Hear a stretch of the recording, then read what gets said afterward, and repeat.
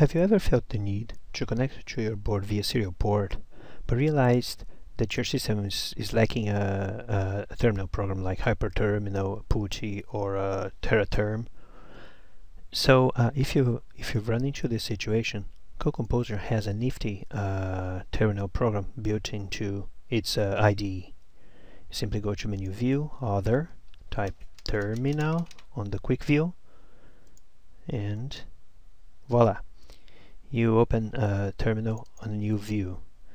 So if you want to actually do set do the settings it allows to do telnet serial or even SSH and in our case you can simply